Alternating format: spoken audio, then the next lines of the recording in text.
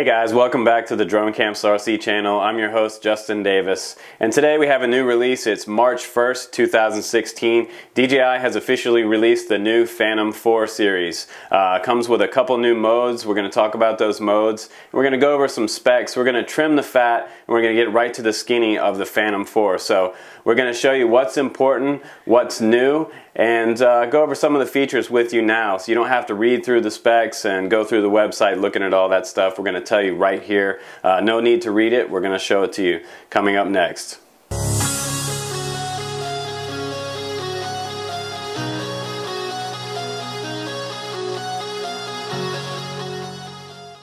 Okay guys, here it is. This is the new DJI Phantom 4 series. Uh, this comes in 4K. We only know one version of it right now. There's not multiple versions like the Phantom 3. This is the new body style and design. Um, someone quoted on Facebook saying it looked like a pillow on a tea tray kind of funny, but the not so funny side of that is that uh, inside this frame there's packed a whole lot of intelligent features. So let's go over some of the features. Uh, one thing we noticed right away was that they were talking about the elevated motors.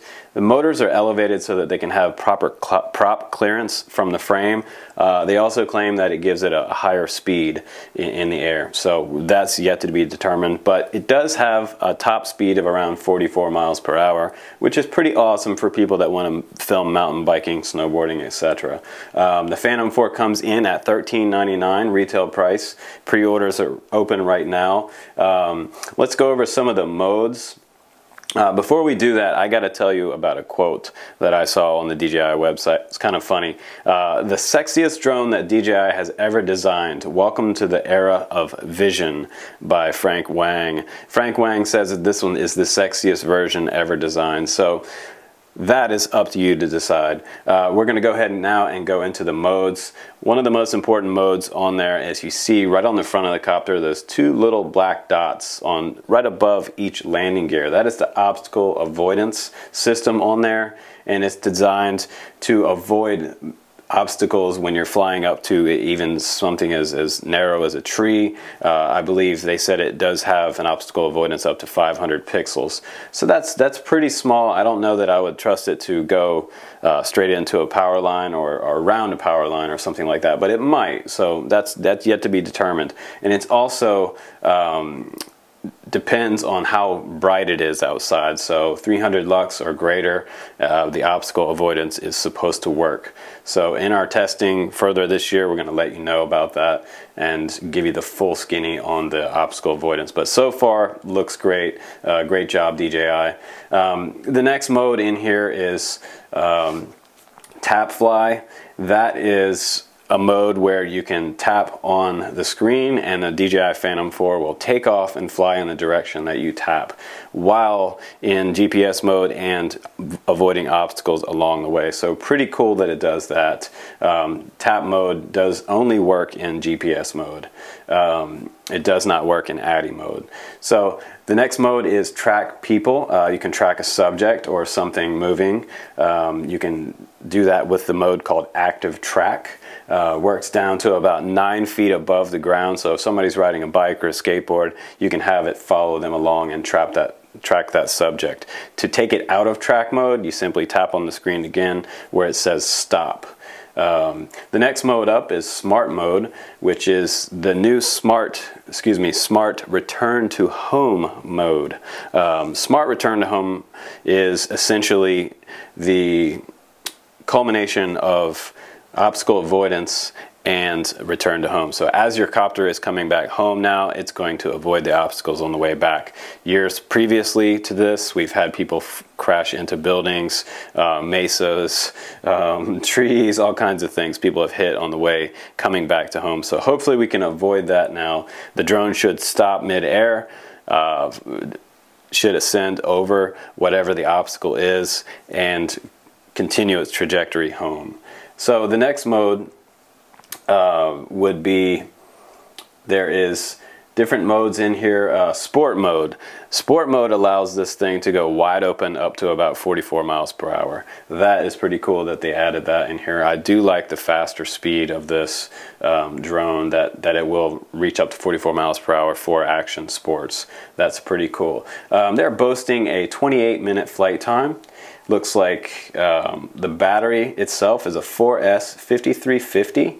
Uh, it's a 15.2 volt and the max charge rate on that is 100 watts. So it does come with a 100 watt charger and the battery is around 462 grams. So uh, it's it's a pretty heavy battery but it's a nice compact little battery that fits it snaps right into the back of the drone and you're ready to go.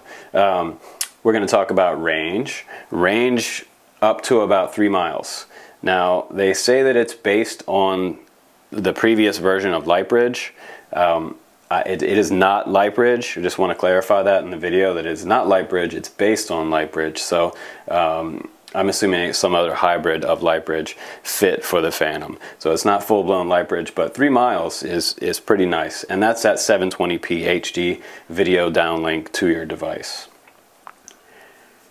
The new updated version also includes a new redesigned visioning positioning system. Um, supposed to be a little more reliable than the last one. It also has dual IMU and compass on board. This is a nice feature. This increases your reliability factor for your drone not getting discombobulated, turned around, or flying off into the to wild blue yonder. Um, a, a, dual IMU is essentially two computers on board now, um, very much like the Solo that we saw before. And um, dual compass is great because if one compass gets off, the other one takes over and can redefine the position in space for you. So that's nice. This is all working in real time. So uh, pretty cool feature that we have dual IMU and compass now. We also have a uh, newly designed prop on here. We're going to show you that now. It is labeled the 9450 like the older ones, but this one has a, a push and release prop. Um, it allows harder braking on the motor.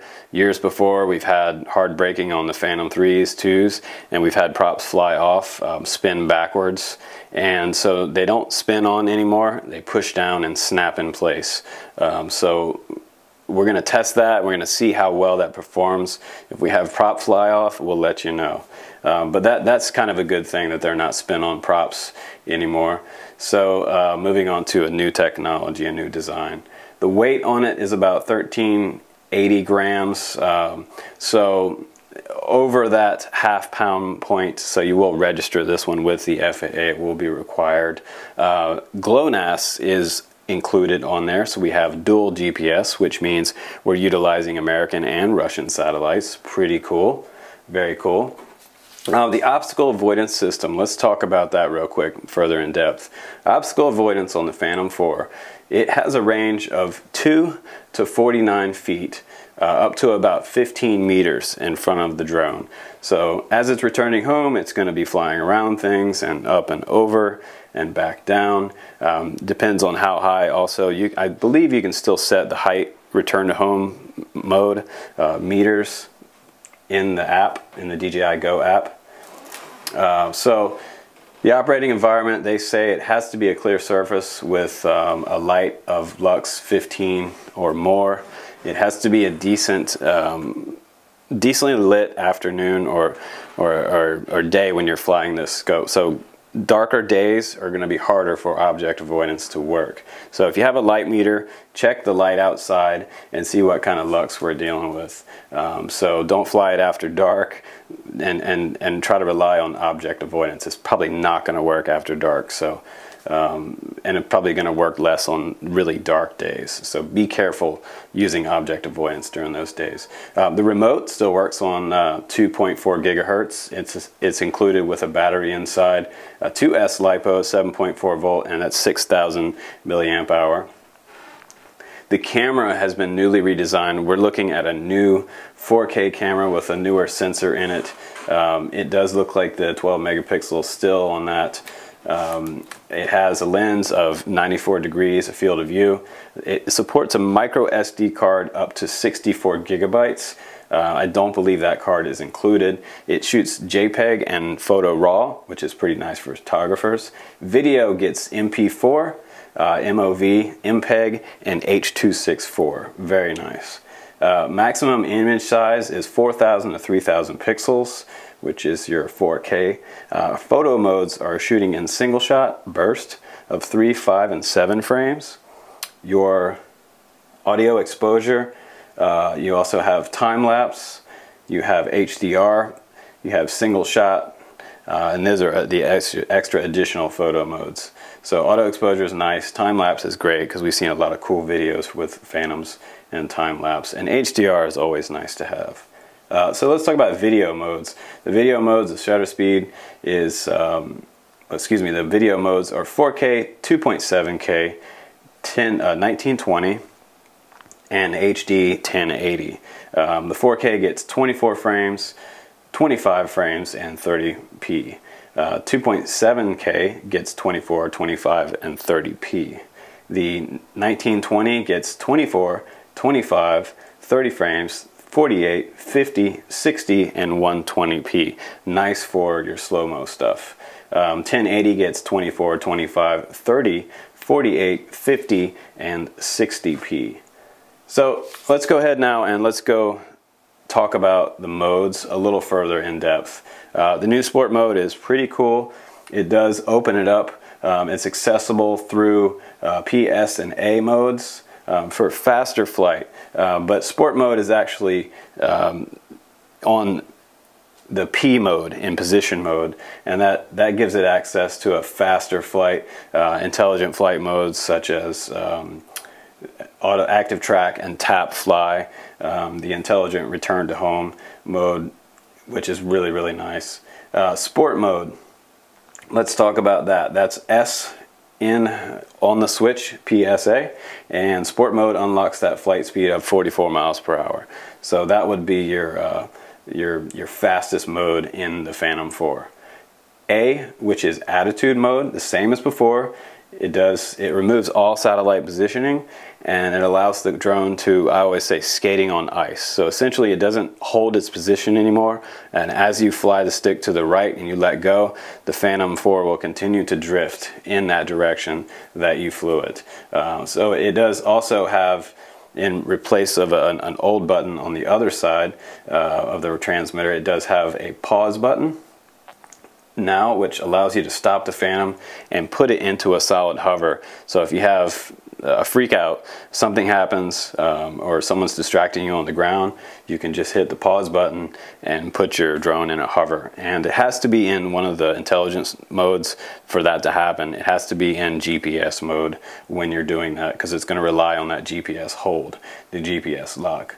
And finally, um, it looks like so far the Phantom 4 is relying on the DJI Go app that is of uh, at this point March 1st 2016 so if this changes coming up in the next six months um, that will probably be updated in a later video. But right now it looks like we're using the DJI Go app and it should be universal uh, with the Phantom 4 it should update to work with that specific copter um, so pretty cool all the features that we've looked at here not bad for a $13.99 price all inclusive Phantom 4.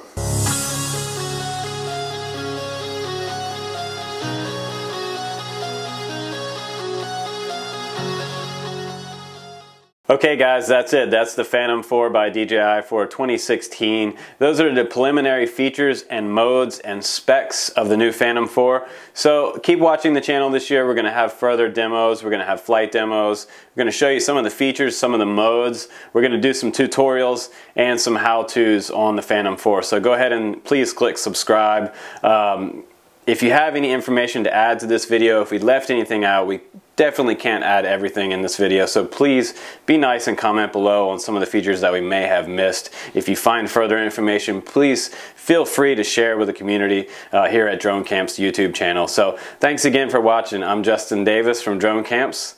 Please click subscribe.